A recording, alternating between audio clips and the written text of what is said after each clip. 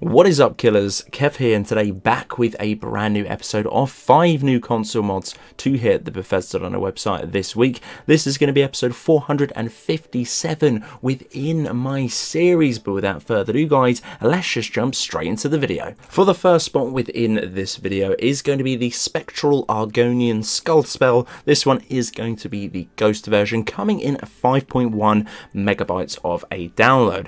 Adds a floating Argonian skull skull with the ghost effect into the game. This one is going to be the apprentice level and is going to get stronger while you do too. But this one, the damage is going to be slightly less than an Ice Wraith and also as well within combat, it absorbs health while it attacks. Very sufficient sort of conjuration follow-up, I guess you could call it, added within the game. You can find this particular spell tome within three different locations. The first one, uh, the easiest one, shall I say, is going to be on screen now. Very easy and accessible to do. Break down into the cellar and pick this one up. The tome will be sort of categorized as stolen so make sure you learn it as fast as you can and once upon learning it you can pretty much pop this one at any given time this is a very interesting mod many more of these ones to come on to the channel smiley beats is definitely back through the Bethesda.net website. Hopefully we can see many more, if not altercations to this particular one added into the game. Plants animation removed, coming in at 20.5 kilobytes of a download. Removing plant animation will give you 7 to 5 FPS boost within the game. Now, if you're like me, probably a little bit more due to the simplistic fact of I'm running an absolute killer floral mod, as you can tell on screen now. It is going to be absolutely tanking the FPS within my game. Not too much noticeable for a person like myself running the Xbox One X on this footage here, but if you are running a slightly lower graded console and as well too to how many other mods you are running, this one might actually help you within more than that frame of 7 to 5 FPS.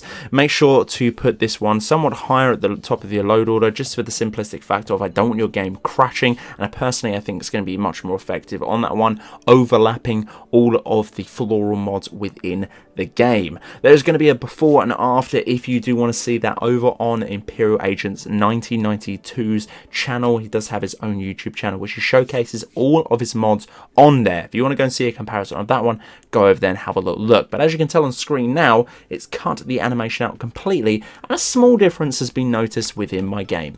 Yet another main menu replacer coming in at 2.1 megabytes of a download.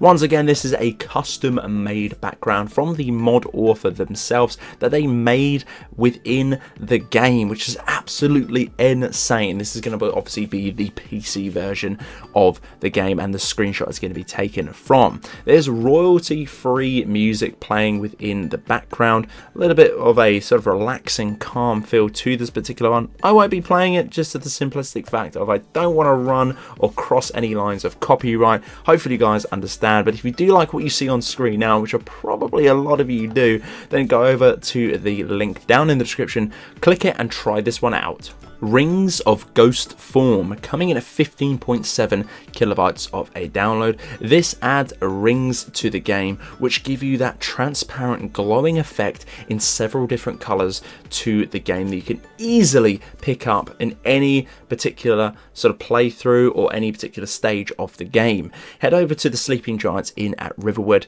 turn right after entering inside of the building, and you will see a small barrel in the corner basically go into there and have a little look and all the goodies will be in there due to how the ghost visual effect was designed within the game that removes the transparency after the ring are unequipped you can fix this by adding potions and poisons that give a temporary ghost feel and effect to your appearance. Personally, I think it's very nice. If you're going to rock one effect, you're going to have that through the entirety of the game. Maybe you're doing a playthrough, maybe there is a beautiful build that you're currently working on. This might actually tip a lot over the edge. Great for the PlayStation 4 users as this is going to be the first from the mod author uploaded onto the Bethesda website and it is going to be a PlayStation 4 exclusive. Shadow Werewolf coming in at 12.6 megabytes of a download. Now, the mod author didn't like how the vanilla werewolves looked within the game. They looked a little bit plain, a little bit stupid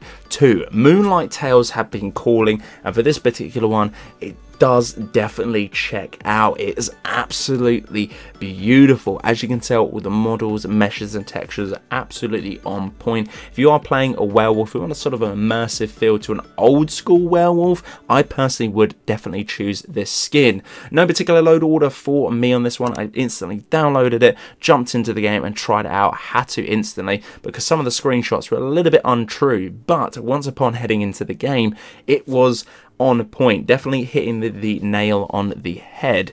Did not make any of the meshes or textures within this game, mainly opted or opened to the Moonlight Tales. That is the quotation from the model, so if not the description on the Bethesda.net website. Very nice indeed. Guys, if you are playing a werewolf, and as said before, you want that kind of lore friendly, if not that traditional werewolf feel within the game as a skin, this is probably gonna be the go-to.